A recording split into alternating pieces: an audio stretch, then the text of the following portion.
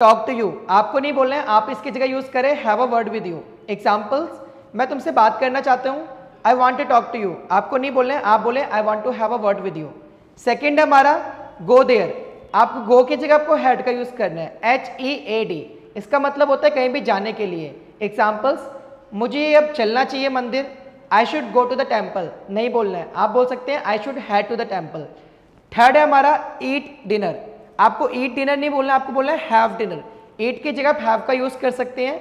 Examples मैं dinner करना चाहूँगा.